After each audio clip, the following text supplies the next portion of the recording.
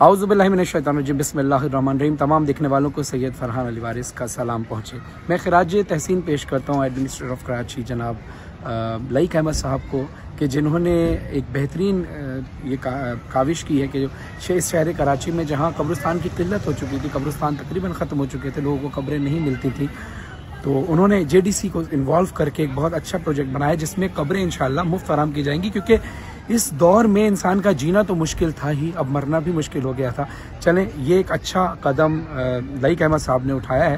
اور میں ساتھ ساتھ دعا کرتا ہوں جے ڈی سی کے ظفر عباس صاحب کو جے ڈی سی کے جنرل سیکرٹری ظفر عباس صاحب کے لیے بھی کہ ان سب کی یہ کوشش اور کاوش ہے کہ اس قبرستان میں چاہے شیعہ ہو، چاہے سنی ہو، چاہے بریلوی ہو، چاہے دیوبندی ہو، کسی بھی مسلک کا مسلمان ہو، اس کو وہاں پر قبر میں جگہ مل جائے۔